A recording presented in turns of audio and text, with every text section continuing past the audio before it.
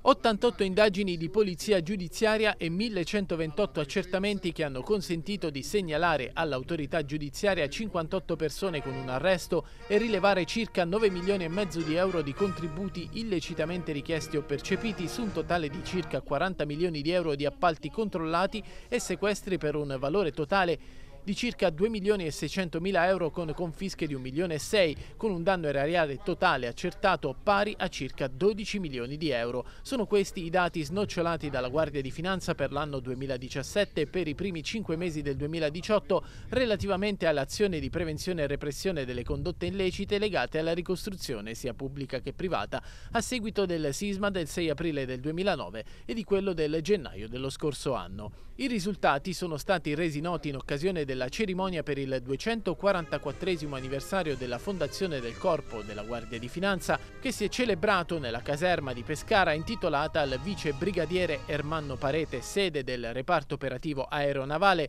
e del nucleo di polizia economico e finanziaria. La cerimonia ha avuto inizio con la deposizione da parte del comandante regionale per l'Abruzzo, generale di brigata Flavio Agnello, di una corona di fiori nei pressi della targa commemorativa intitolata al vice brigadiere Parete. Successivamente il generale ha deposto una corona di fiori sul monumento eretto in onore delle 29 vittime della tragedia di Rigopiano.